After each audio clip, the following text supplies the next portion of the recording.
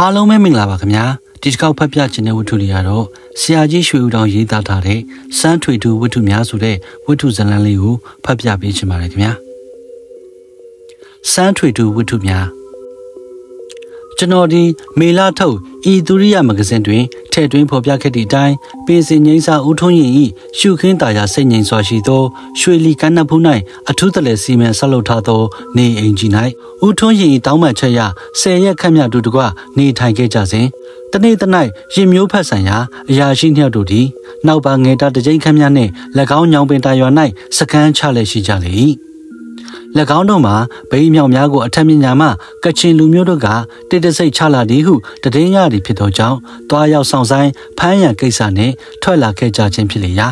ဦးထွန်းရင်သည်မိမိထုံးစံတိုင်း၎င်းရာရှိနှစ်ယောက်တို့ကိုမိမိ၏အိမ်တို့ဖိတ်ကြား၍ညစာသမင်းတဲခင်းကျွေးမွေပြီးနောက်ဘိန်းဖန်းသည့်အမှုများအကြောင်းနှင့်ဆက်လင်း၍ထူးဆန်းသည့်အဖြစ်ပြက်ခြင်းရများကိုပြန်ပြောင်းပြောဆိုစီပြီးနောက်မိမိကြက်နှစ်တော်ဖြစ်ပျက်တို့ကိုထိုစာအုပ်ကြီးတွင်မှတ်တမ်းသင်ခဲ့လေ၏ အတန်ငယ်ညနတ်တို့ကရေမျိုးရာရှိနှောက်တို့သည်ဦးထွန်းရင်အိမ်၌ကျွန်တော်တို့အားနှုတ်ဆက်ကြပြီးနောက်မိမိတို့ယခုတွားရောက်မည်ဖြစ်သောကိစ္စမှာရခင်ဖန်ဆီးရခဲ့သောမှုများထက် စွန့်စားရသည့်အချင်းအများစွာပါရှိလိမ့်မည်ဟုထင်းမြင့်တဘောရရှိကြောင်းယခုဘိန်းချခဲ့သောကချင်ကြီးမှလည်းကျေးငွေအင်အားနှင့်ပြည့်စုံသည်ဖြစ်သောကြောင့်တခေါလင်ဘိန်းတင်လာချိန်ထောင်တောင်းမကလှူဝဲ၍ချခဲ့ဘူးကြောင်းအလွန်တရာလဲညံများသောကချင်ကြီးဖြစ်၍မိမိတို့နှင့်ယခုတစ်ခါတွင်ညံချင်းရှင်ပြန်ရမည်ဖြစ်ကြောင်းကိစ္စပြီးစီး၍ပြန်လာတော့ခါမိမိတို့ကိစ္စအထမြောက်မမြောက်နဲ့တကွာဖြစ်ပျက်ချင်းရာတို့ကိုဝင်ရောက်ပြောဆိုပါမည်ဖြစ်ကြောင်းနှင့်အာမဝေနာခံယူကြပြီးနောက်ထွက်သွားကြလေ၏၎ င်းနောက်ငားရက်ခန့်မြကြာရှိလေလင်ဦးထွန်းရင်နဲ့ကျွန်တော်တို့ဒီညစာထမင်းစားတောက်ပြီးနောက်မျက်နှာဖူး၌ထိုင်လက်ရစ်မျိုးအရာရှိနှစ်ယောက်တို့၏တွားရောက်သည့်အကြောင်းများကိုတတိယတစ်ဖြစ်တိုင်ပင်ပြောဆိုလည်းရှိနေကြစဉ်လူတစ်ယောက်ဒီမြင်းနှစည်းနှင့်အဝေးမှဆိုင်းလာသည်ကိုမြင်ကြလေရာအနီးသို့ရောက်၍မြင်းပေါ်မှဆင်းသောအခါရစ်မျိုးရာရှိမောင်လာဦးဖြစ်ကြောင်းကိုသိရှိကြလေ၏ မောင်လှဦးသည်မြင်းပေါ်မှတရီးတရိုင်ဆင်းသက်ပြီးနောက်ကျွန်တော်တို့ကနေရာထိုင်ခင်းပြီး၍၎င်းနှင့်တူသွားသော မောင်ပမော်တယောက်အပေမှနေရပါသည်နည်းဟုမေးမြန်းရာမောင်လှဦးကကလထိုင်လက်တင်ပေါ်တွင်တတောင်နှစ်ဖက်ထောက်၍မျက်နာကိုလက်ဝါးနှစ်ဖက်နှင့်အုပ်ပြီးလင်အတန်ကြာညှဉ်းညူနေပြီးမှမပြောချင်ပါဘူးခင်ဗျာကျွန်တော်တက်တက်မှာဒီတစ်ခါလိုထူးထူးဆန်းဆန်းကြောက်ခမန်းလက်ခမန်းရှိတဲ့ဖြစ်ပျက်မျိုးကိုတခါမှမကြုံဘူးမကြားဘူးပါဘူးခင်ဗျာအိုးမောင်ပမောင်မောင်ပမောင် ကျောင်းမှနေကြတော့ကလည်းတငယ်ချင်းအလုံးလုံးကြတော့လဲတူတူဒီကိစ္စမှာလည်းနှစ်ယောက်တွဲပြီးအတူထွက်ခဲ့ကြငါတနာလာကြီးရဲ့မောင်ပမောင်ရင်အဆရှိတစ်ဖြစ်ညင်းညူလည်းရှိလေလင်ကျွန်တော်နဲ့ဦးထွန်းရင်တို့မှာတစုံတရာထူးထူးခြားခြားဖြစ်ခဲ့တဲ့အကြောင်းကိုအနေငယ်ရိပ်မိသည်နဲ့နားဆွင့်လည်းရှိနေကြလေ၏၎င်းနောက်မောင်လာဦးသည်မိမိနှင့်တငယ်ချင်းမောင်ပမော်တို့တွေ့ကြုံရတော့ဖြစ်ဖြစ်များကိုပြန်ပြောင်းပြောဆိုလျာကျွန်တော်ကဝိထုသွားနေဖြစ်အောက်ပါအတိုင်းရေးသားဖော်ပြမိဖြစ်ပြန် ရင်မျိုးအင်စပက်တော်မောင်လာဦး၏ကိုတိုင်ကြုံတွေ့ခဲ့သောဖြစ်ဖြစ်များအင်စပက်တော်မောင်လာဦးနှင့်မောင်ပမော်တို့သည်ဦးထွန်းရင်၏ညောင်ပင်သားရစခန်းမှနောက်ပါတပည့်ဆေးရောက်ခန့်နှင့်ထွက်ခွာသွားကြသဖြင့်နှစ်ရက်မြောက်သောညနေ၌တောင်ပူစာနှလုံးတို့၏အကြားကြိုက်ဝမ်းသောတောင်ကြားတစ်ခု၏နှခမ်းတွင်စခန်းချလည်ရှိကြလေ၏၎င်းတို့၏နောက်ပါ10ယောက်တို့နှင့်6ယောက်တို့မှာကချင်လူမျိုးများဖြစ်ကြသဖြင့်4ယောက်ဒီသာလျှင်မြန်မာမှုထမ်းများဖြစ်ကြလေသည် ညနေခင်းချိန်၌ထိုစခန်းသို့ရောက်ကြလျင်မြင်းများကိုအမှုရန်ချို့တို့ကမြက်ရေစာစသည်တို့ကိုတိုက်ကြွေးကြလဲအချို့တို့ကညစာထမင်းများချက်ပြုတ်ရန်မိများကိုဖိုလဲရှိကြလေ၏ထိုရက်၌ကအလွန်တရာချင်ပေါ်များသည့်ဖြစ်သောကြောင့်မောင်လာဦးနှင့်မောင်ပမော်တို့သည်မိဖို့နီး၌ထိုင်ကမှုတ်ချော်များကိုအစာပြေမြုပ်ဝါလက်ရှိကြစဉ်မိမိတို့နှင့်တူလိုက်ပါလာသောတုတ်ကြီးနှင့်မိနေမိရှိခွေးကြီးနှကောင်တို့သည်လည်း မိဖို့နီး၌ပင်ဝိက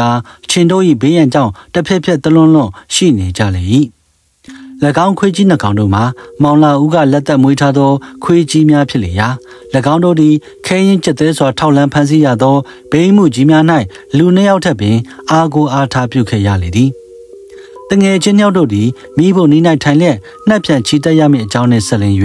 မိမိတို့၏အကြံစီများကို တိုင်ပင်နှီးနှောလက်ရှိကြလေရာမောင်ပမော်၏အကြံမှာမောင်ပမော်နှင့်ကချင်အမှုထမ်းတယောက်သည်၎င်းတောင်ကြားမှဆင်းသက်၍အရှိစူးစူးတို့ဖြတ်တန်းပြီးနောက်တောင်ထိပ်တို့ညနေချင်းတွင်ဆက်ရောက်လာမည်ဖြစ်ကြောင်း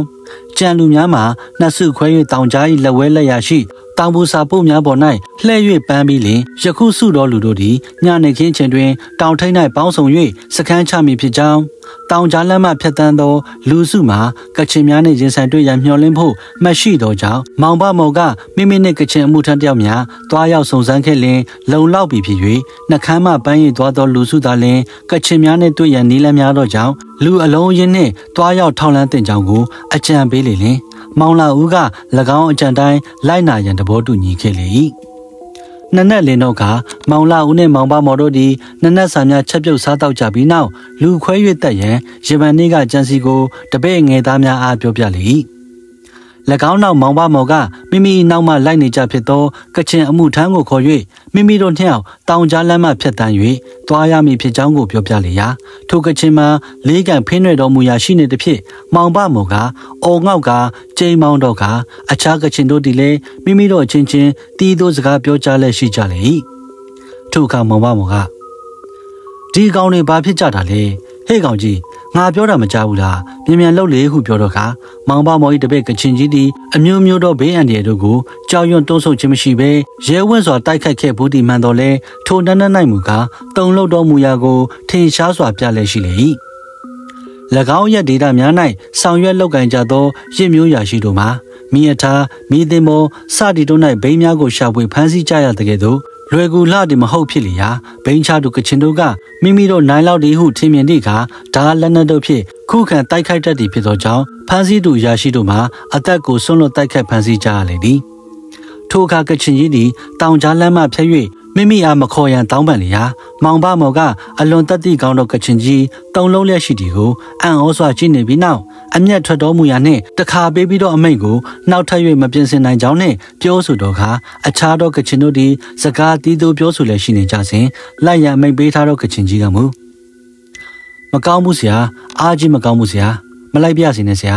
ကျွန်တော်တို့သိပါလိမ့်မယ် ကလီကမာရှိတဲ့ဇရက်ကြီးရှိပါတယ်ဆရာမလိုက်ပြစီနဲ့ဆရာဟုပြောတော့ခါမောင်ပမော်ဒီကချင်ကြီးညင်းညို့ပြောဆိုလိုက်သည့်အတိတ်ဘယ်ကိုရိပ်မိတော်လဲမကောင်းဆိုးဝါအဆရှိတီတို့ကိုမိမိကိုယ်တိုင်မယုံကြည်သဖြင့်ကချင်ကြီးအားရေမောကအားပေးစကားပြောကြားပြန်သဖြင့်ကချင်ကြီးသည်အနိုင်အနိုင်လိုက်သွားရလေ၏မောင်ပမော်နဲ့ကချင်ကြီးတို့သည်မြင်းတစည်းစင်နဲ့တောင်ကြားကိုဖျက်တမ်း၍သွားကြစဉ်မောင်လာဦးသည်နောက်ပါ၃ယောက်နှင့် တောင်ကြားကိုတစ်ဖက်လမ်းမှပန်းလျက်တောင်ကြားတစ်ဖက်လမ်းတို့ကတပည့်6ယောက်ကိုလှည့်၍ပန်းခဲ့ရန်စေလွတ်လိုက်လေ၏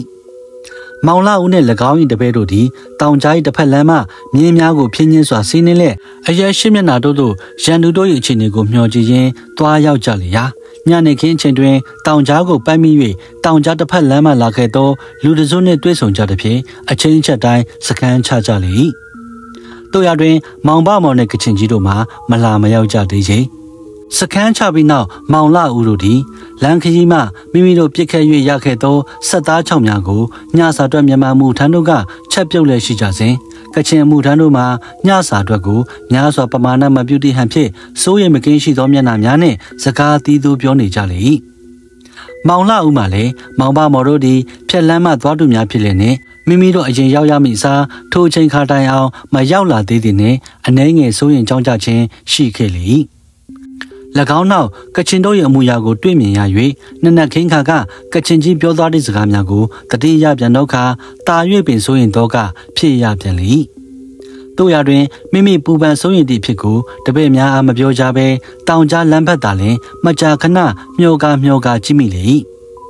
ဆက်သားများကိုဖတ်များနှင့်ထုတ်၍မြေ၌မြုပ်ကာမြေပေါ်၌ထင်းထုံကြီးများဖြင့်မိဖို့နှင့်နှက်ထားသဖြင့်မွေးကြံသည့်ဟင်းလျာတို့ကိုစားတောက်ကြပြီးနောက်တပည့်ငယ်သားတို့သည်မိဖို့များနီး၌လျှမ်းမောက်ကာအညောင်းညာများဖြေလျက်ရှိကြစဉ်မောင်လာဦးမမူစေးပြင်းလက်ကိုဖွာရင်းစဉ်းစားစိတ်ကူးသည့်အမူအရာနှင့်တောင်ကြားစီတို့မျှော်ကြည့်ကာရှိနေလေ၏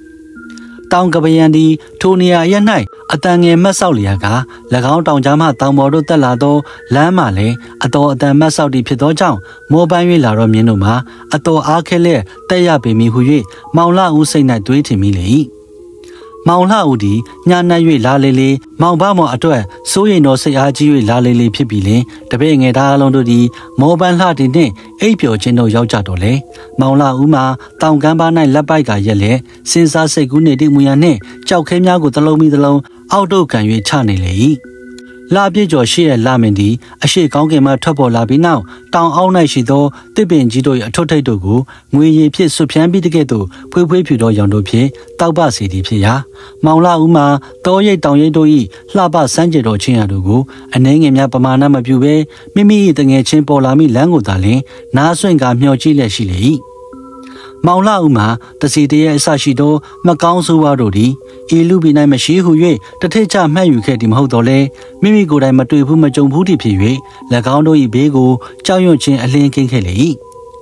တို့ရာတွင်ထိုည၌မူကချင်ကြီးထိုင်လန်ပုံကိုတွေ့မြင်ရ၍ကချင်ကြီးပြောသောစကားများကိုကြားရသည့်အတွင်းမောင်ပမောင်နှင့်ကချင်ကြီးတို့မပြန်လာကြသည်ကိုသိရှိရတော့ခါမဟုတ်နိုင်ပါဘူးလေဟုအကြိမ်ကြိမ်ဖန်ဖန်မိမိကိုယ်ကိုမိမိပြောတော်လေ ဟုတ်မှာပဲလားကရုတ်ဟုသောစိတ်သည်မကြာခဏတိုးရတိုးရဖြစ်ပေါ်လာလေ၏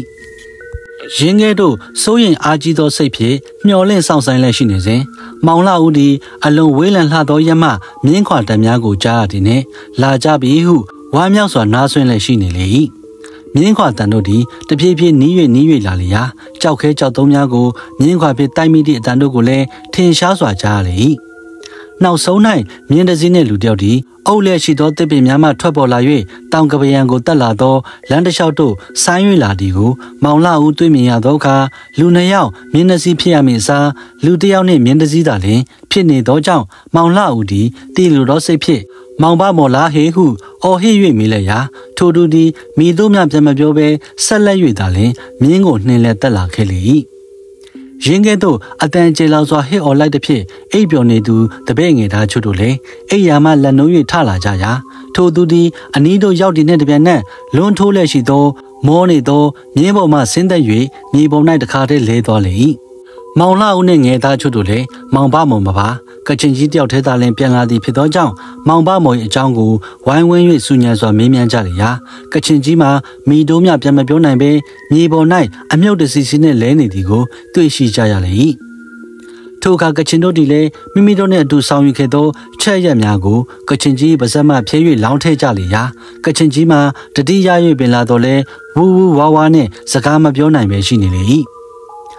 င်းနောက်မောင်လာဦးမှာချက်ရက်များကိုကချင်ကြီးကတွင်မှထပ်၍လောင်းထည့်စေပြီးနောက်ပကုံးကိုကင်လှုပ်၍မောင်ပမော်၏အကြောင်းကိုမေးမြန်းလေရာကချင်ကြီးသည်ထိတ်လန့်သုံးလုံးတော်မူရာနှင့်တောင်ကြားရက်တို့လက်ညှိုးညွှန်ပြပြီလေဆရာနေပြီဆရာသေးပြီဟုပြောပြီးနောက်ကြောက်လာဒီကတကြောင်မောပန်းလှဒီကတကြောင်ထိုနေရာ၌ပင်သုံးလုံးလဲလဲစကားမမေးရပဲအိပ်ပျော်ခြင်းတို့ရောက်သွားလေ၏ထိုအခါမောင်လာဦးသည်ကချင်ကြီးအားထလောင်း၍မေးမြန်းတော်လဲအကျိုးမရှိ မောင်ပမော်တေးပြီးဟူသောဖြစ်ကိုတီရှိရဒီနှင့်တပြိုင်နက်မီဒီဘရောဂနှင့်အသက်ဆုံးရှုံးရရှာဒီကိုမိမိကိုယ်တိုင်နက်နက်လင်းတော့ခါ၌ထောက်လန်းစုံစမ်းအောင်မီဟုအောင်းမိတ်ပြီးလင်အိယာတို့ဝင်ခဲ့ရရာတနေ့လုံးပင်ပန်းစွာခရီးတွာလာခဲ့ရသည်ဖြင့်စကန်တို့ရောက်တော့ခါ၌လည်းမောင်ပမော်အားမျောလင့်ဆောင်ဆိုင်လက်နေခဲ့ရသည်ဖြစ်သောကြောင့်အိယာ၌ခေါင်းချလိုက်တဲ့နှင့်တပြိုင်နက်အိပ်ပျော်ရေးသွားလေ၏နက်နက်လင်းဒီနှင့်တပြိုင်နက်မောင်လှဦးသည်မိမိတပည့်ငယ်သားတို့ကိုစုယုံခေါ်ယူပြီးနောက် မောင်ဘမောင်၏အကြောင်းကိုထောက်လန်းစုံစမ်းရန်တိုင်ပင်ကြလေရာကချင်အမှုထမ်းတို့ကမူမိတဲ့နီးနေမြတောင်ကြားရက်တို့မလိုက်လိုကြကြောင်းနဲ့ညင်းဆိုကြလေ၏တောင်ကြားမှပြန်လာတော့ကချင်ကြီးမှမူမိတဲ့နီးနေမြအိယာမှနှုတ်ရမရပဲရှိလေရာအခြားသူတို့ကဆွဲရထူကြတော့ခါနိုင်လေမျက်လုံးများဝိုင်းလက်အရက်လေးမျက်နာတို့ကြည့်ပြီးလင်အိယာတို့ပြစ်လဲ၍အိမ်မြဲတိုင်းအိမ်ပြန်လေ၏ထိုအခါမောင်လာဦးသည်ကချင်ကြီးအားထလောင်း၍အကျိုးအကြောင်းမေးမြန်းခြင်းအလုပ်ကိုလက်လျှော့ရပြီးနောက် တောင်အောက်တို့သွားဖို့ရန်ကိစ္စကိုစီစဉ်လေရာကချင်တို့ကမူဦးကောင်းကိုရန်လက်အချင်းချင်းတီးတိုးတိုင်ပင်ကမလိုက်လိုကြောင်းနဲ့ညင်းဆိုကြသည်ဖြစ်သောကြောင့်မြန်မာမူထမ်း၄ယောက်တို့နှင့်သွားမည်ဟုတိုင်ပင်ပါတော့လဲ၎င်း၄ယောက်တို့နှင့်၃ယောက်တို့သည်ကချင်တို့ထံမှထိတ်လန့်ခြင်းကူးဆက်၍တယောက်သောသူသားလင်ဆရာအားချစ်ခင်လာသဖြင့်မောင်လှဦးနှင့်တူလိုက်ပါမည့်အကြောင်းနှင့်ဝန်ခံလေ၏ ထိုအခါမောင်လာဦးသည်မလိုက်ဝင်သောငယ်သားအလုံးတို့အားသုံးမှန်ခရီးခန့်၌ရှိသောရွာတရာမှရွာသားအလုံးကိုစုယုံခုံငင်ပြီးလင်မောင်ဘမော်၏အလောင်းကိုဖုတ်ကြီးတကြိုရန်လူအလုံးရင်းနှင့်တောင်ကြားတို့လာခဲ့ရမည်အကြောင်း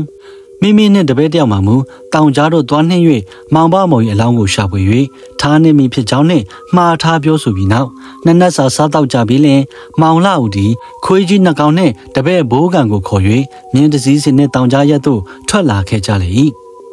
တပည့်ငယ်သားတို့မှမူရွာမလူများကိုခေါ်ရန်ထွက်သွားကြလေ၏မောင်လာဦးမှာတတိကောင်းသောလူတစ်ယောက်ဖြစ်သည်မှန်ခဲ့၏တို့ရတွင် မောင်ဘမော်ကိုယ်တိုင်တည်ဆုံးခဲ့၍ပြန်လာသောကချင်ကြီး၏ထိတ်လန့်တုန်လုံးပုံကို၎င်းကြံသောကချင်တို့၏ငင်းဆန်ခြင်းကို၎င်းစဉ်းစားလိုက်သောအခါကြောမှဆက်၍လာခဲ့သည်မှန်၏ သို့ပါတော့လေမိမိတငယ်ချင်းအရင်ချာတယောက်ဒီဆွေမနီမျိုးမနီတောခကြီးနဲ့တယောက်တည်းအသက်ဆုံးရှုံးလက်ရှိသည်ကိုမိမိတို့ဘာသာသုံးဆန်တိုင်းဖုတ်ကြီးတကြိုချင်းမပြုလို့ရသေးပဲရှိသည့်ကြောင်းကိုတွေးသောဆင်ခြင်မိသောခန္ဓာကကြောက်ရွံ့သောစိတ်သည်ပြေပြောက်၍တငယ်ချင်းဝတ္တရားတိုင်းဆောင်ရွက်လိုသောစိတ်တဘောသည်ပြင်းစွာဖြစ်ပေါ်လာခဲ့လေ၏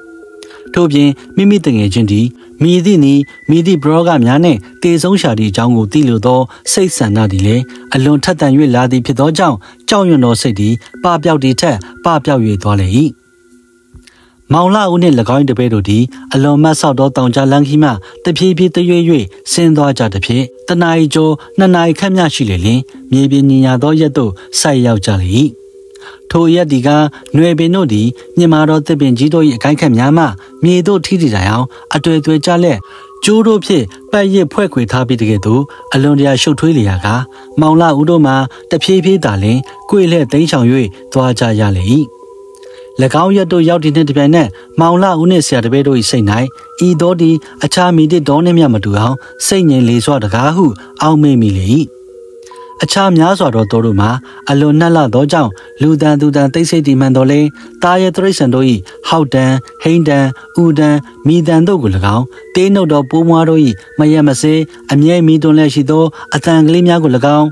ကြံ့ငှက်တရိษံတို့သည်လူရိတ်ကိုမြင်တင်နှင့်လန့်ထိတ်တုံမီကရုတ်တရက်ပြန်တန်း၍သွားသောအတောင်ခတ်တန်တို့ကို၎င်းကြားရစမြဲဖြစ်လျာ ထို့သော၌ကအထက်အဆိုပါမိသည့်အတန်မျိုးကိုမျှမကြားရပဲအလွန်နှက်လာသောဥမင်လိုင်ကောင်းတို့၏စိတ်ငြိမ်ခြင်းဖြင့်များစွာစိတ်ငြိမ်လည်းရှိလေ၏တုတ်ကြီးနှင့်မိနီတို့သည်ပင်လင်ရင်တို့စိတ်ညင်လွန်ရသည့်အချင်းရကိုမတင်ငါတိလက္ခဏာနှင့်မြေတို့ရှုကာခေါင်းမော့ကာဖြင့်အရက်လေးမျက်နာကိုအနံ့ခံလည်းရှိကြလေ၏ဆရာတပည့်နှစ်ယောက်တို့သည်လည်းထိုချင်းရတို့ကိုတွေ့မြင်ကြရသဖြင့်စကားဖွင့်ဟ၍မတိုင်ပင်냐တော့လဲတယောက်ဤမျက်နာကိုတယောက်ကြည့်ရှုမိကြလေ၏ ခရီးအတန်ကြာသွားမိကြလျင်ခရီးတဲ့နှစ်ယောက်တို့လိုက်သွားကြတော့လမ်းလေးသည်ရုတ်တရက်လမ်းကျကြီးအဖြစ်သို့ရောက်သွားကြလေ၏ ထိုအချင်းရကို မောင်လာဦးမြင်ရတော့ခါမိမိတို့လာရောက်တော့ကိစ္စအဆုံးသို့ရောက်လို့နီးချောင်းကိုရိတ်မိသည်ဖြင့်တပည့်ဘိုးကန်မျက်နှာကိုကြည့်လိုက်ရာဘိုးကန်မှာမိတို့တော့အကြောင်းကြောင့်မသိထိတ်လန့်အားငယ်လည်းရှိသည့်ရုပ်လက္ခဏာကိုတွေ့မြင်ရသည်ဖြစ်သောကြောင့်မောင်လာဦးမှာတာမညရန်သူမဟုတ်ဘဲမကောင်းဆိုးဝါးတို့၏ဘေးရန်များနှင့်တွေ့ခဲ့ရပါမူဘိုးကန်မှာများစွာအားမထားရဘဲတကိုယ်တည်းကျဲရမည်ဖြစ်ကြောင်းကိုရိပ်မိလေ၏ လန်ကလေးဒီပထမ၌လူတယောက်သွားတာယုံမြတာရှိလေရာထိုခါ၌မူကားလှဲများမောင်းနေနိုင်လောက်အောင်ကျဲဝင်းလည်းရှိလေ၏မူလာ၌က၎င်းလန်းသည်လှဲလန်းတရံသူလေရာထိုခါ၌မူလူသွားလူလာမရှိသောကြောင့်တောတစ်ပင်တို့ဖြင့်ဖုံးအုပ်လည်းရှိလေ၏မောင်လာဦးသည် ကိစ္စဆုံးတို့တိုင်ရောက်တော့မည်ဖြစ်၍တစုံတစ်ခုကိုတွေ့မြင်ရတော့မည်အကြောင်းစိတ်၌ထင်မြင်လာသည်ဖြစ်သောကြောင့်မိမိ၏ CIB နေကအုတ်ထုပ်ကိုခေါင်းပေါ်၌မြဲတည်ထက်မြဲအောင်ဖိနှိပ်၍ဆောင်ပြီးလင်မြင်းကိုဆက်လက်၍နှင်လေ၏ထိုခဏ၌မြင်းသည်တစုံတစ်ခုကိုအနှံ့ရသည့်လက္ခဏာနှင့်ဥကောင်းကိုထောင်ကာနှာများပွားလက်အသက်ရှူမှန်မှန်ရှိလေရာခွေးနှကောင်မှလည်းထိုမှဤမှလူလာခက်လက်ရှိကြလေ၏ လမ်းသည်ထိုနေရာ၌နှဲငယ်ကွေးကောက်လက်လမ်းတစ်ဖက်တစ်ချက်တို့၌ကစောက်ကလားပင်တို့ကိုຫນွေနေပင်တို့ဖြင့်တွေ့ရက်ဖုံးအုပ်လက်ခြုံပုတ်များတစ်ပွဲကာကွယ်လက်ရှိကြလေရာလမ်းကွေများကိုကျော်လွန်မိတဲ့တပြန်နဲ့တစ်သားဝင်းထျံတို့ဖြင့်ကာယံလည်းရှိသောဇရက်ကြီးတစ်ဆောင်သည်တစ်ပင်များလယ်မှထွက်ပေါ်လာသည်ကိုတွေ့မြင်ရလေ၏၎ င်းဇရက်ဦးကြီးမှာမြို့ကြီးပြကြီးများ၌ဆောက်လုပ်၍ထားသောဇရက်ကြီးများကဲ့သို့ဟာလာဟင်းလင်းမဟုတ်ဘဲတောတရိษံတို့၏ဘေးမှကာကွယ်ရန်ခိုင်ခန့်စွာတစ်သားထရန်တို့နှင့်ကာရန်လက်ထားရှိလေ၏မောင်လှဦး၏မြင်းသည်ရုတ်တရက်ထွက်ပေါ်၍လာသောဇရက်ကိုဘွားကနေတွေ့ရသည်ဖြစ်၍ထိတ်လန့်လျက်ပတ်တက်ရက်လိုက်လေရာမောင်လာဦးမှာမိလေပင်ကိုလက်ဖြစ်တက်ကချော့မော့၍ထားတော်လဲမျက်လုံးပြူကနားဆွင့်ကနဲ့ရှိနေလေ၏၎ င်းဇရက်ဦးကြီးတီကကချင်တို့ပြောသောနာမည်ကျော်ဇရက်ကြီးပင်ဖြစ်မည်ဟုမောင်လာဦးသိရှိ၍မြင်းပေါ်မှမစင်သေးပဲဇရက်ကြီးရဲ့အခြေအနေကိုကဲခက်လက်ရှိနေရာထိုဇရက်ကြီးမှာအလွန်တရာသိစိတ်လှလျက်ပရင်းပေါက်တို့မှလည်းလုံခြုံစွာပိတ်လက်ရှိလေ၏ရင်းကဲတို့ဇရက်ကြီးကိုကြည့်ရှုရင်းစဉ်းစားဆင်ခြင်မိဒီမှာမောင်ပါမော်သိဆုံးရခြင်းနှင့်၎င်းဇရက်ကြီးမှာတနည်းနည်းနဲ့ဆက်တွဲခြင်းရှိရမည် မောင်ပါမော်၏အလောင်းမှာလည်းအမှန်မုတ်ချ၎င်းဇရက်ကြီးအတွင်း၌ရှိရမည်စသဖြင့်စိတ်ကူးမိလေလင်မောင်လှဦးမှာကြောများချမ်း၍သွားလေ၏၎င်းနောက်မိမိသည်နှောက်တို့လှဲ့၍ဘိုးကန်ကိုခေါ်လိုက်ရာဘိုးကန်သည်ခွေးနှကောင်နှင့်ခလန်းလန်းမှရက်နေလက်မောင်လာဦးခေါ်တော်လဲအနီးသို့မချင်းကပ်ပဲဦးကောင်းကိုရမ်းလက်ရှိလေ၏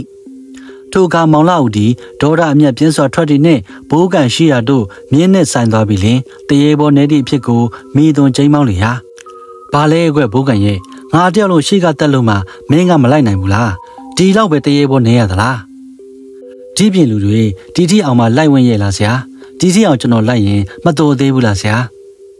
နားမလဲဘူးကွယ်ငါသွားတမျှမင်းလိုက်ရမယ်ဆရာကဘယ်ထိအောင်သွားမှာလဲဆရာဘယ်ထိအောင်သွားရမလဲကွယ်ဆရာကြီးထဲထိအောင်သွားမှာပေါ့မလုံနဲ့ဆရာကျွန်တော်ကတော့မလိုက်ဝင်ဘူးမောင်လာဦးဒီ6လုံးပြည့်နဲ့ရုတ်တရက်ချင်းလက်ဘိုးကန် မင်းမလိုက်ဘူးလားလိုက်မလားဆရာနောက်ကိုလုံလုံမလိုက်ဝဲတဲ့လူတွေတော့ဆရာဘဲနဲ့မှမလုပ်ဘဲနဲ့ဆရာကိုအင်မတန်ခင်လို့ဒီထိစွန့်စားပြီးလိုက်လာတဲ့လူကိုတော့ဆရာကပြစ်သက်မယ်ဆိုရင်လည်းပြစ်သက်ပါတော့ဆရာကျွန်တော်ခံပါတော့မယ်ဟုပြောတော့ကမောင်လာဦးဒီဘိုးကန်ပြောတော့စကားတို့မှာနီလန်တိုင်းဖြစ်သည်ဟုအောင်းမ၍တနတ်ကိုခပိုက်၌ပြန်ရွေးထည့်ပြီးလင်မိမိတယောက်တည်းပင်သွားချီတော့အန်ဟုစိတ်ကိုသိရလေ၏၎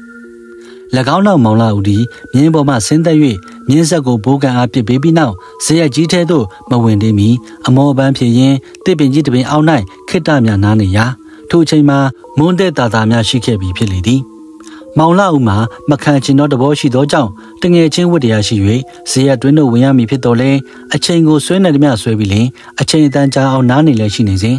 စဉ်းစားစိတ်ကူးမိလေးလေးစိမ့်၍စိမ့်၍လာလေးလေးရှိရာကမောင်လာဦးမှာကြာရွှေစာဆိုင်းငန်း၍နေပါကအလင်းပင်မဝင်ဝင်အောင်ကြောင်ရွံ့၍လာမီကိုစိုးရိမ်တင်နှင့်ထိုင်ရာမှရုတ်တရက်ထ၍ငါဒီမိမလည်းမဟုတ် ကလေးတငယ်လည်းမဟုတ်ယောက်ျားစစ်စစ်ဖြစ်ပါလေအဘဲကြောင့်ယွံ့ကြောက်တော့စိတ်ဖြစ်ပေါ်ရမည်နည်းဟုမိမိကိုယ်ကိုမိမိအားပေးပြီးခွေးများကိုခေါ်၍ဇေယျကြီးရှိရာသို့သွားလေ၏ဝင်းတရတွင်းတို့ဝင်းမိတစ်ဖြစ်နှောက်တို့လှည့်၍ကြည့်လိုက်တော့ခါခွေးနှကောင်တို့သည်မိမိနောက်မှပါမလာပဲရှိသည်ကိုတွေ့မြင်ရလေရာမောင်လာဦးကလေချုံ၍ခေါ်လိုက်သောအခါမှခွေးနှကောင်တို့သည်မလချင်းလာချင်းနှင့်လာရသောမူရာဖြင့်မြေပေါ်၌အလျားဝက်ကတဖြည်းဖြည်းတရွေ့၍တွား၍တွား၍အနီးသို့ချင်းကပ်လာကြလေ၏ မောင်လာဦးလည်းခွေးများအားဖျက်လက်စီခြင်းလို့ငါမိမိလက်မှမြင်းကျင်လုံးနဲ့တစ်ချက်စီခက်ဆက်ဆက်ရိုက်ပေးပြီးနောက်အုံငေါ့၍ခုန်ရင်ပြီးလင်အနှဲငယ်များကြောက်ကြဆုံးရင်ခြင်းမရှိသည့်မူရာနှင့်မြင်းကျင်လုံးကိုဝင့်ကာခြေလမ်းမှန်မှန်နှင့်ဇေကြီးပေါ်သို့တက်သွားကြလေ၏ဝရန်ဒါသို့တက်မိလေလင်မောင်လာဦးသည်မစစ်သစိတ်ရှိနေသောတကားကိုတွန်းဟ၍ဇရက်တွင်းတို့ချောင်းကြည့်လိုက်ရာပရင်ပေါက်တို့မှာအားလုံးပိတ်ထားသည့်ဖြစ်သောကြောင့်မှောင်၍နေသဖြင့်မိသည့်အရာဝတ္ထုကိုမျှထင်ရှားစွာမမြင်ရဘဲရှိလေ၏၎ င်းနောက်မောင်လာဦးသည်တကားကိုကျဲစွာဖွင့်ပြီးနောက်ခွေးနှကောင်ကိုခေါ်လက်အတွင်းသို့ဝင်သွားရာ၎င်းဆက်ကြီးအတွင်းရှိအခြေအနေများမှာလူသူကင်းဝေးသောဆက်ကြီးများနှင့်အလင်းမသူပဲလူများနေထိုင်လက်မိမိလာတီကိုမြင်တဲ့ဖြစ်ရုတ်တရက်ပုံအောင်၍နေပြီးတကယ်တော့၎င်းတို့ဒီမဟုတ်တစုံတစ်ခုသောကိစ္စနှင့်အပြင်သို့ရုတ်တရက်ထွက်သွားနေပြီးတကယ်တော့၎င်းသူလှပေ၏အကြောင်းကိုဆိုတော့တခုတော့တောင်း၌နှစ်ရုပ်ကြည်ပွေးနဲ့ငရုပ်စုံတို့တန်လန်ထားခဲ့ဒီကို၎င်း ဟင်းပကံတို့ကိုအလေမထည့်ပြီးလင်ထမင်းပကံပြားတို့သည်နဘေးမှဝိုင်းရန်လည်းရှိသည်ကို၎င်း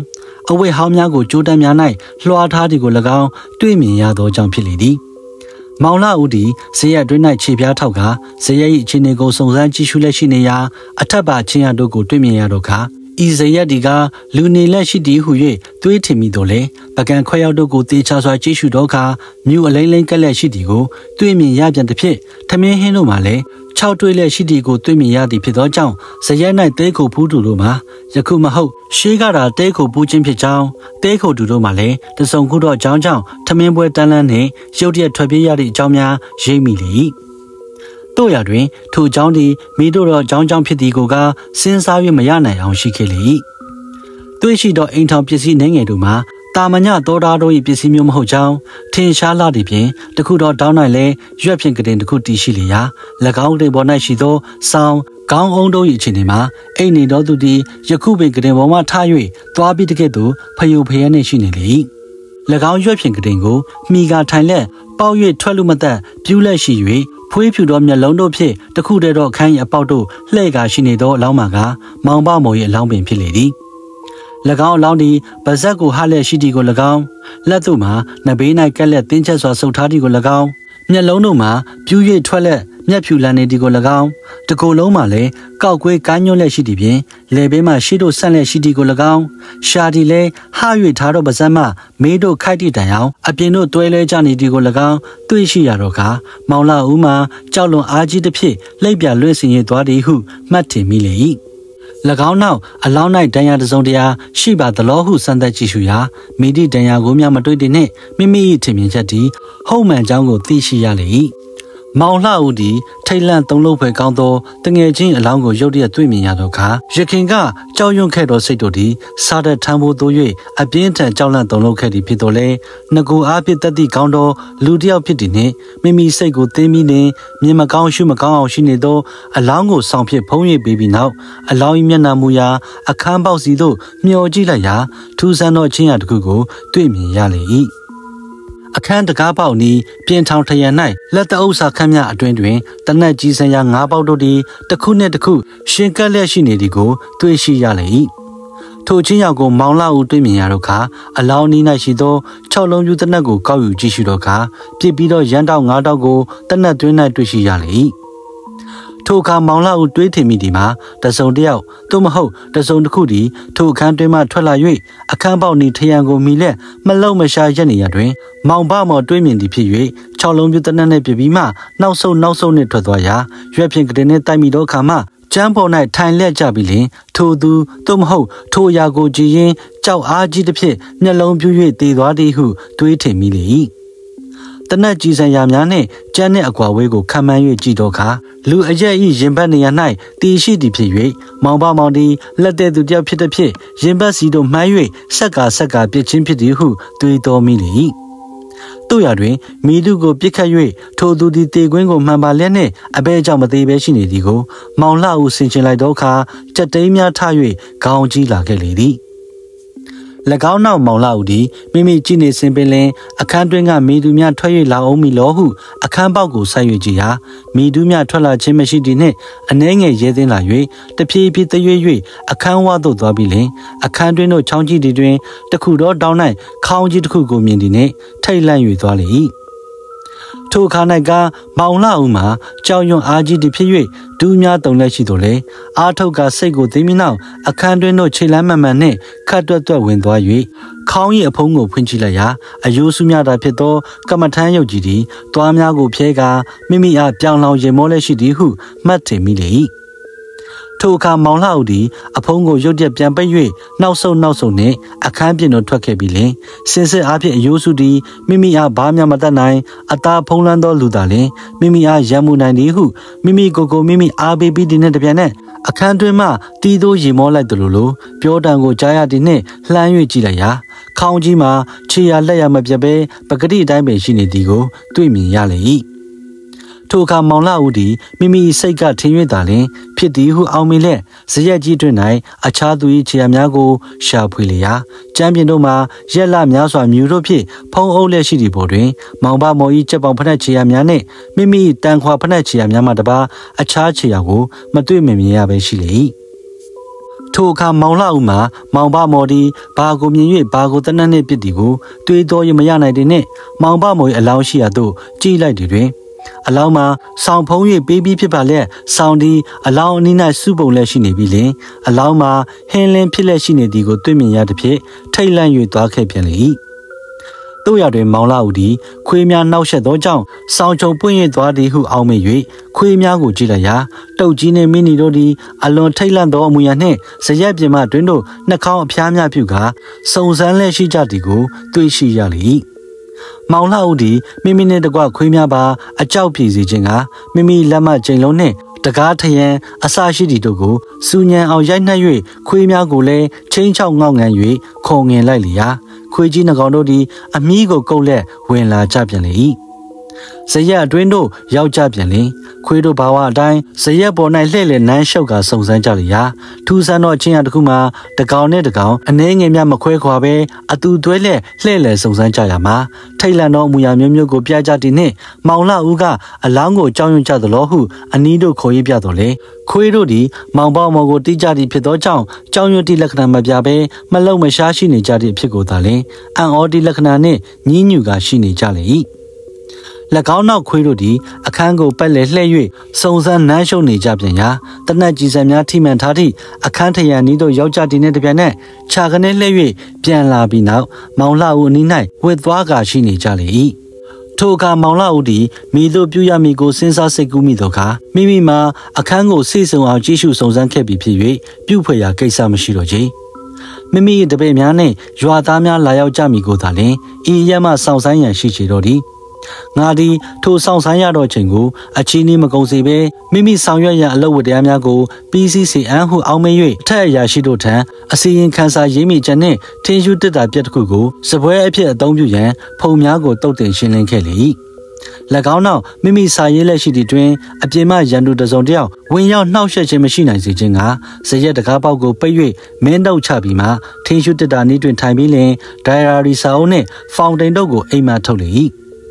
မိမိ၏လက်ဝဲဘက်၌ကခွေးနှကောင်တို့သည်စိတ်ငြိမ်စွာဝင့်နေကြလက်လက်ရဘက်၌ကမိမိကတဖန်ဆောင်နှင့်ဖုံးရပေးထားသောမောင်ပမောင်၏လောင်းသည်ငုတ်တုတ်ထိုင်လဲရှိနေလေ၏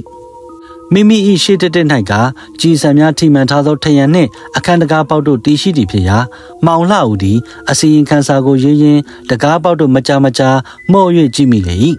ဇရက်အတွင်း၌တော်၎င်းဇရက်အပြင်၌တော်၎င်းအလွန်တရာစိတ်ငြိမ်လက်ရှိသည်ဖြစ်ရာဝင်းအပြင်၌မြင်းနှကောင်တို့သည်မြက်များကိုတပြုတ်ပြုတ်နှုတ်၍စားနေသည့်အတန်ကိုထင်ရှားစွာကြားရလေ၏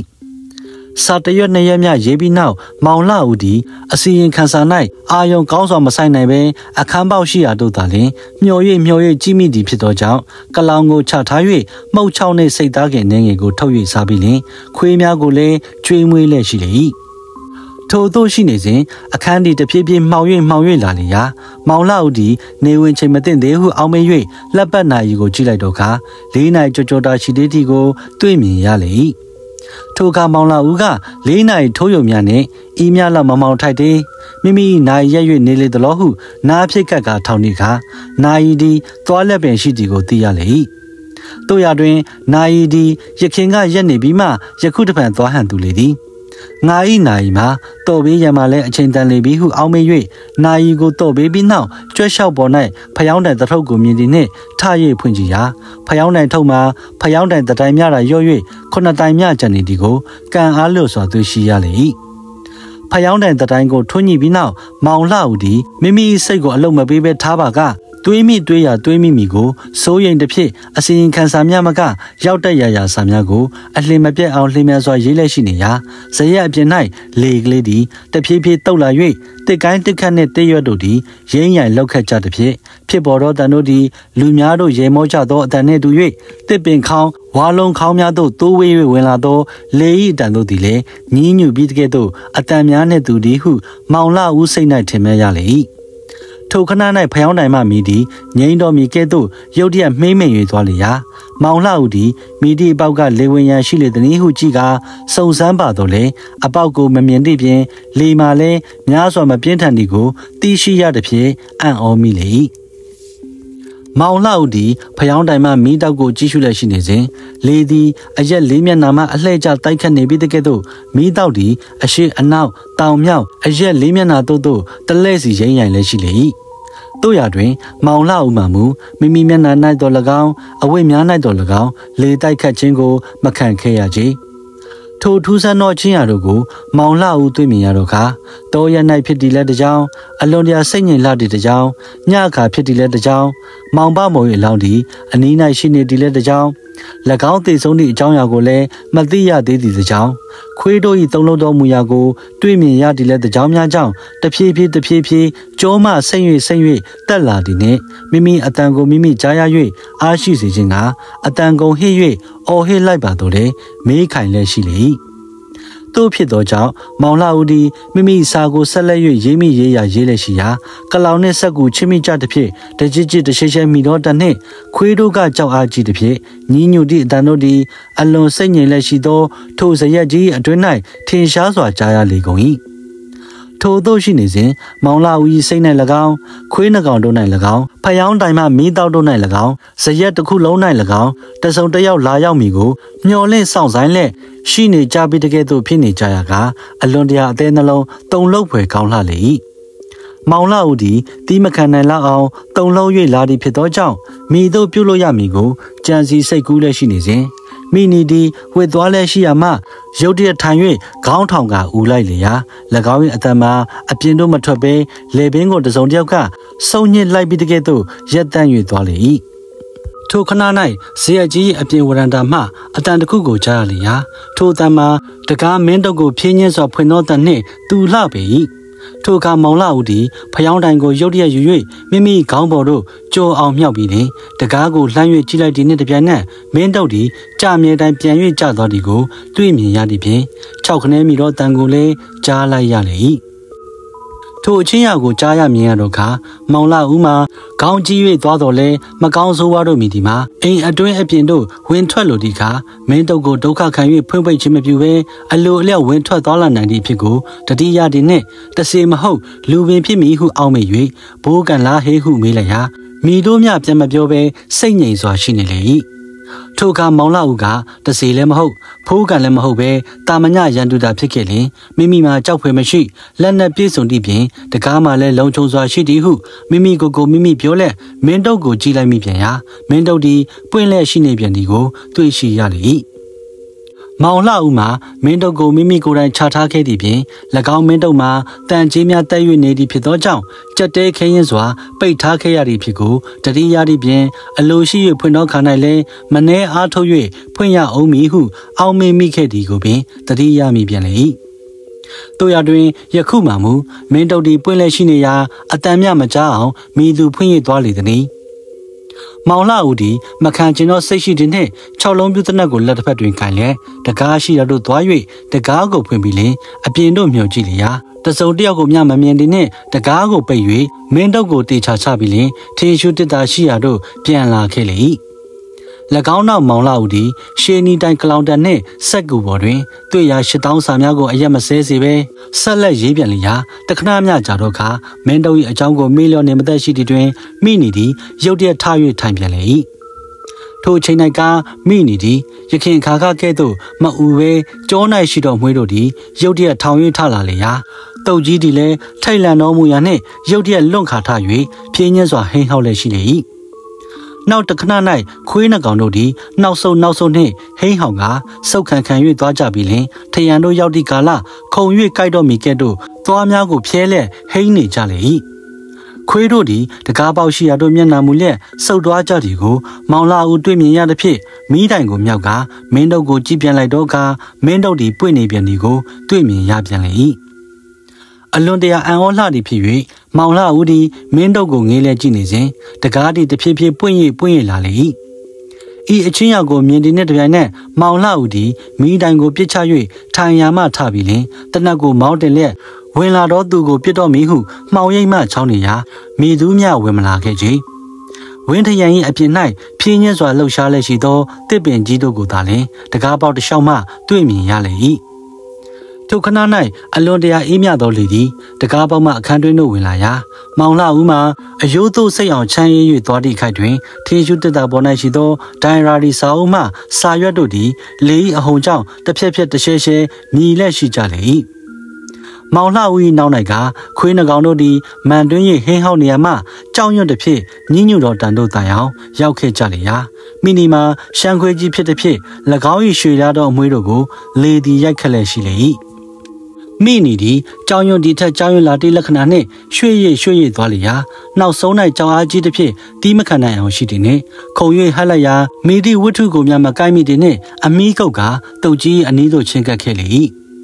ထိုအခါမောင်လာဦးသည်မိသည့်အရာဝတ္ထုကိုခွေးမမြင်လေသည်နည်းဟုမိချ၍ကြည့်ပါတော့လေတစုံတရာများမမြင်ရပဲရှိလေ၏ တကားပေါက်မှဝင်လာတော့လေအဟုန်ကြောင့်တကားသည်ပွင့်ချီပိတ်ချီတကြီးကြီးမိလက်လေသည်အေးမြဒီထက်အေးမြ၍လာလျာခွေးတို့မှလည်းမောင်လှဦး၏ခြေနီးမှနားခွဲမတက်အော်မီညင်းညူလက်ရှိကြလျာကမောင်လှဦးသည်တစုံတရာကိုမျှမမြင်ရဘဲလေကြောက်မက်ဖွယ်ဖြစ်ပျက်နေသောဤအချင်းရောက်ကိုတီးမခံနိုင်သည်ဖြစ်၍အပြင်တို့ထွက်ပြေးရန်တကားပေါက်ရှိရာတို့တဟုန်နှင့်ပြေးလာခဲ့လေ၏တို့ရတွင်မောင်လာဦးသည်တကားပေါက်ကိုကြုံလွန်၍မထွက်နိုင်ခဲ့ကြ။ တကားအနီးသို့ရောက်တည်နှင့်တပြိုင်နက်အလွန်တရာပြင်းထန်လာစွာသောလေပြင်းမုန်တိုင်းကြီးတို့သည်ဇရက်တကားပေါက်မှဇရက်ရဲ့အတွင်းတို့တိုက်ခတ်တိုးဝင်လည်းရှိလျာမောင်လှဦးသည်မိမြပင်စူးစမ်းအားထုတ်၍အပေါက်မှထွက်ပါတော့လဲလေဤအဟုန်ကြောင့်ရှေ့သို့မတက်နိုင်ဘဲနောက်သို့သာလျှင်လန်၍ဆုတ်ခဲ့ရလေ၏ထိုအခါမောင်လှဦးသည် ကျမ်းပေါ်၌လေးဘက်သွားသွားလျက်ကြမ်းကြားတို့ကိုလက်သေးနှင့်ချစ်ကုတ်ကရှေ့တို့တက်ပါတော့လဲတထွာတမိုင်းများမတက်နိုင်ဘဲနောက်တို့သာလမ်း၍မသွားစီရန်ကိုပင်အလွန်အားထုတ်လျက်ရှိနေခဲ့ရလေ၏ထိုအခါ၌ကမောင်လှဦးမှာအစွမ်းကုန်ကြောက်ရွံ့တုန်လှုပ်လှသဖြင့်ယူတုလုခမန်းပင်ရှိနေသည်ဖြစ်၍ကျမ်းပေါ်၌သာအလျားလိုက်မှောက်ပြီးမွေကဲ့သို့တွန့်လင်၍လက်တလုံးခန့်မြတဖြည်းဖြည်းတရွေ့၍အာကုန်ဖြစ်ညစ်ကန်ကြောက်တိုးတက်သည့်ခါမှာနောက်ဆုံး၌အပြင်သို့ရောက်လာခဲ့လေ၏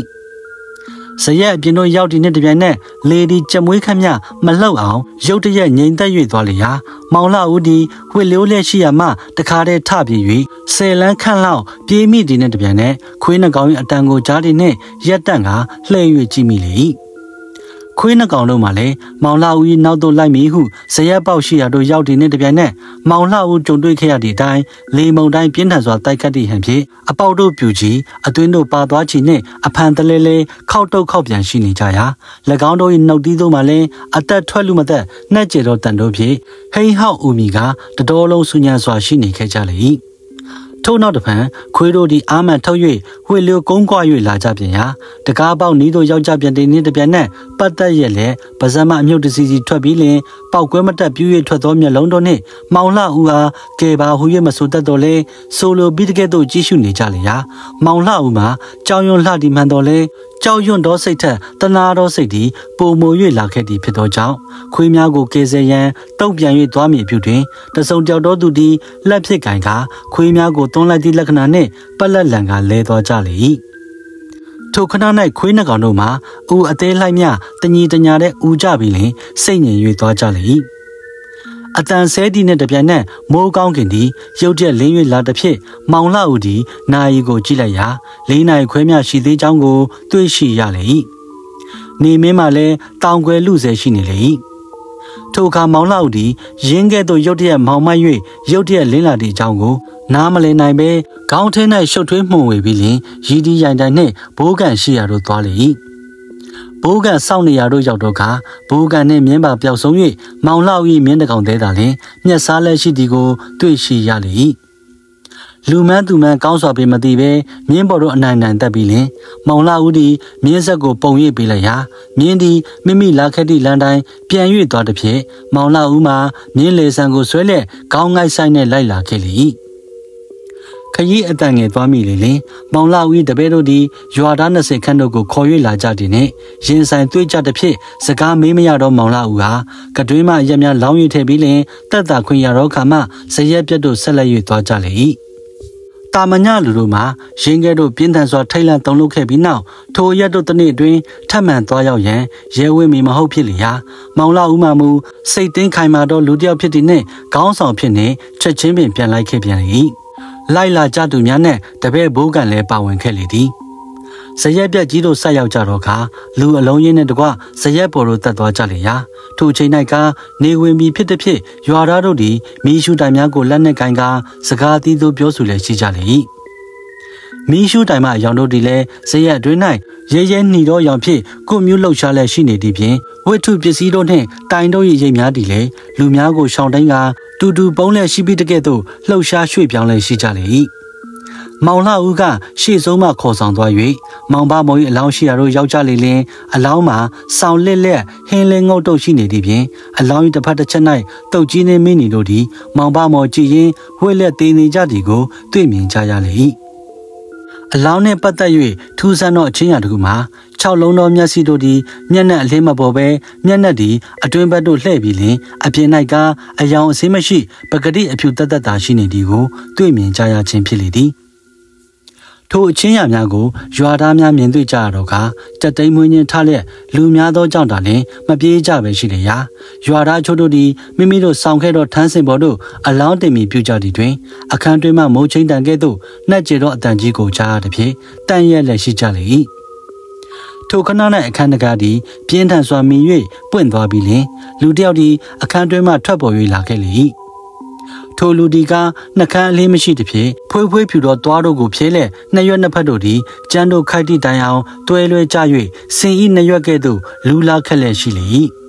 တို့ရာတွင် ထိုတူ၏ဒူးဆန်းဆုံးသောຢာတို့မှာ၎င်း၏မျက်လုံးများပင်ဖြစ်လေသည် မျက်လုံးနှလုံးတို့မှာရွေးကြီးစေပမာဏရှိ၍အလွန်ရင့်သောအစိမ်းရောင်ရှိလျာ၎င်းမျက်လုံးတို့၏နောက်မှဖျောင်းတိုင်တရာခန့်အားရှိသောဓမီနှင့်ထိုး၍ပေးတကဲ့သို့အယောင်တလက်လက်ထွက်လည်ရှိလေ၏ထိုတူဒီအခန်းပြင်တို့ရောက်တည်နှင့်တပြိုင်နက်လှုပ်ရှားခြင်းမရှိပဲလူများတို့အားငြိမ်သက်စွာကြည့်လျာရွာသားတို့လည်းကြက်တီတီလက်ဆိုင်ငေးကကြည့်နေကြလေ၏ ထိုတို့ကြည့်နေကြစဉ်နှကမ်းမရှိသောပါဇက်တီပွင့်သွား၍ရှာတီအပြင်တို့ထွက်လာပြီးနောက်တဖြည်းဖြည်းရှည်၍လာပြီးလင်ရှာဖျားတီခွေးတွေကောင်ကိုလှက်ယူသွားသည်ကိုမြင်ကြရသည်နှင့်တပြိုင်နက်တညီတညာတဲ့အတန်ကုန်အော်ဟစ်ကြပြီးလင်အပြင်တို့တဟုန်နဲ့ထွက်ပြေးကြလေ၏မောင်လာဦးမှာထိုချိန်မှစ၍တဟုန်ထဲမြင်းနဲ့ဆိုင်လာခဲ့ရာညောင်ပင်သားရွာဦးထွန်းကြီးအိမ်တို့ဆက်ရောက်တော့ခါမှရက်တန့်ခြင်းဖြစ်လေသည်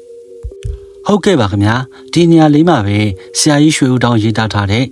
စမ်းတွေ့ထူဝတ္ထုများဆိုတဲ့ပရလောကဇလံလေးပြီးဆုံးလို့တော့ပါပြီခင်ဗျာနားဆင်ပေးသူအားလုံးကိုကျေးဇူးတင်ပါတယ်ခင်ဗျာ